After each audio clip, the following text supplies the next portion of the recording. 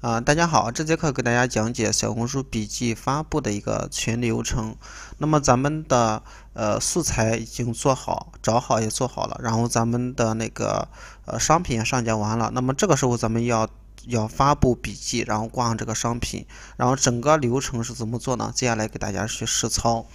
那么笔记的组成部分分为三个部分啊，第一个封面，第一个标题，第三个话题，还有咱们的发布时间，这四条咱们做完整之后，咱们的笔记才会比较优质，才能拿到更多的一个流量，才有机会去，呃，去爆发，去爆赞。啊，那么接下来就是拿我们的一个账号啊，一个账号给大家演示一下。你看，这样这个账号是开过店的，是一号一店的一个小红书账号。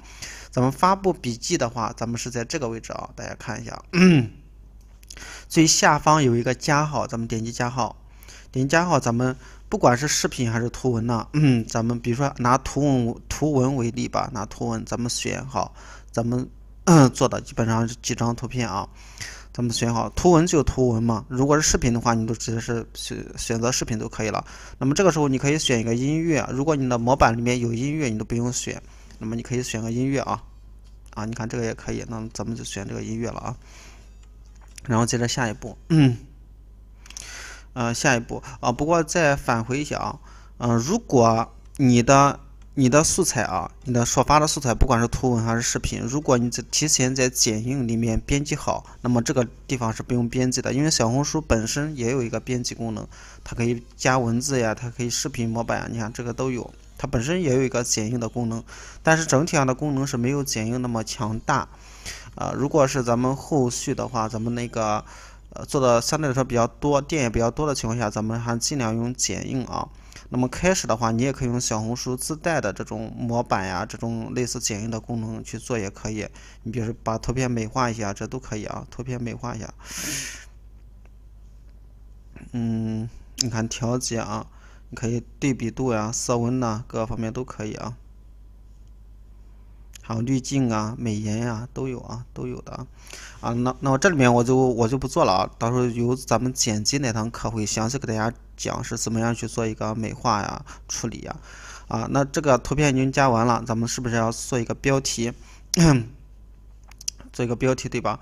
呃，那个呃，图片这一栏再给大家讲一下，第一个图封面的一个选择，这个封面非常重要，先给大家讲封面吧。嗯。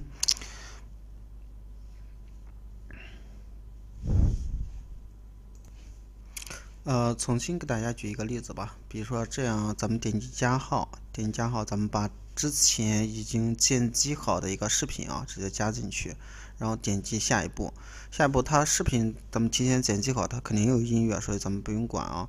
那么这个时候咱们其实是要加一些，嗯，到下一步。下一步的话，如果是视频形式的话，视频一定是要加封面的。大家听好，视频一定要加封面的。如果是图文的话，咱们第一张图就代表封面，所以这样是有个区别的。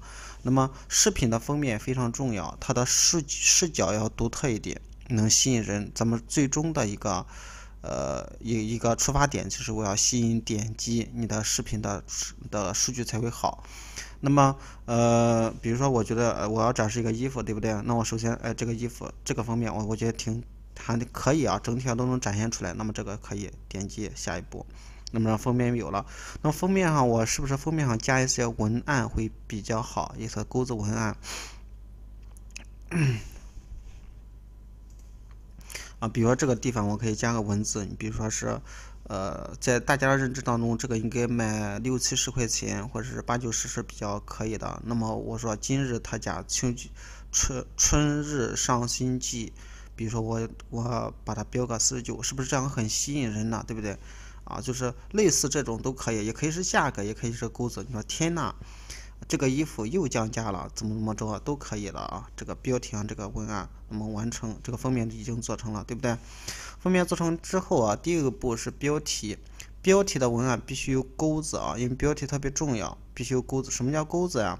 给大家去呃展示一个啊啊，那么这个模板其实咱们所有的学员都有，都会放放到咱们那个学员群里面啊。这个模板比如说各种钩子，不可思议的前置，好处和理想状态，你比如什么三分钟收了一百万，那五分钟就能写出来一条文案，太神奇了，太炸了！用了这三招，小店业绩翻十倍。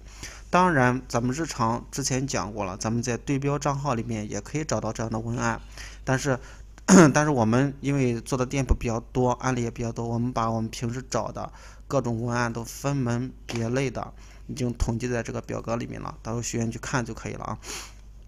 啊，这是标题。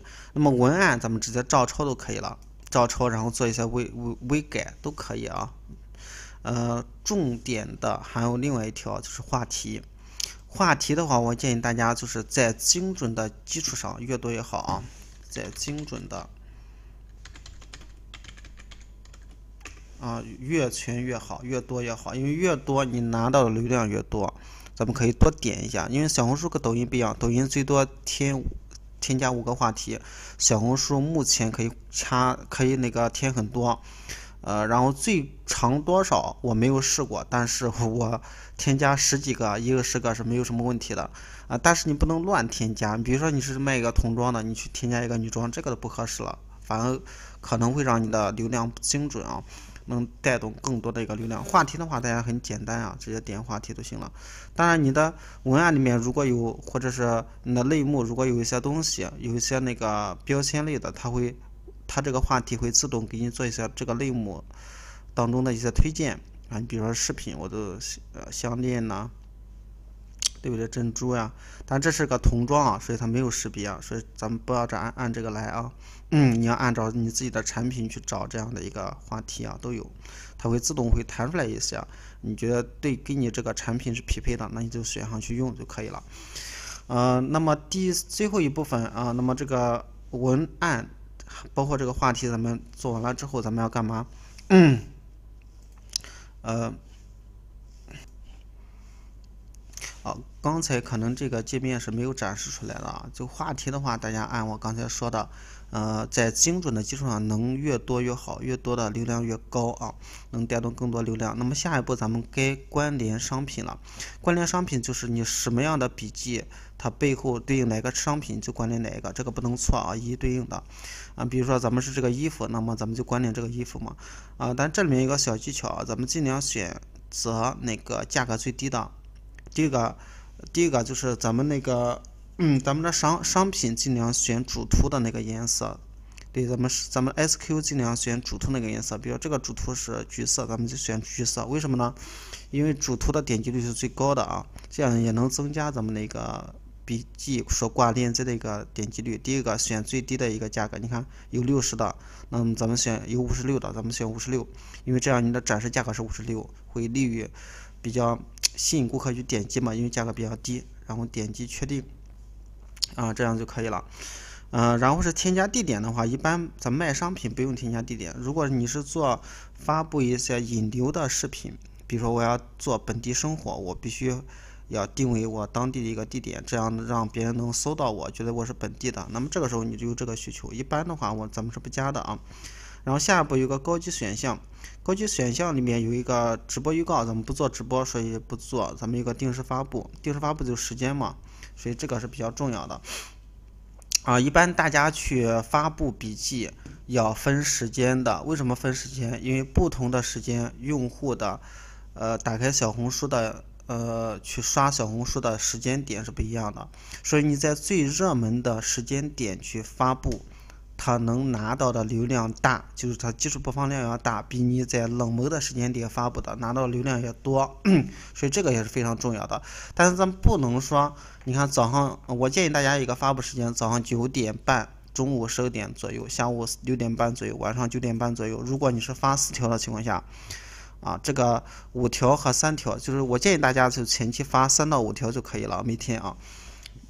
那么你不能是盯着时间，到这个时间你去发，这这个不是太累了吗？咱们什么事情都干不了了，因为很很多人可能是做这个小红书是兼职的。那么咱们就定时，比如说你把四个，呃，四个笔记和商品就都上完之后，都做完之后，你就等发布了，你就定时发布。大家看好啊，定时发布。比如说我九点半，那我就选择九点半嘛，那周五的九点半，九点半。对吧？完成，完成我就直接定时发布就 OK 了。它到九点半会自动发布，不用我去盯着。所以说咱们在咱们在统一时间做完之后，然后定时发布不用管，它会到时间自动发布，就这么简单啊。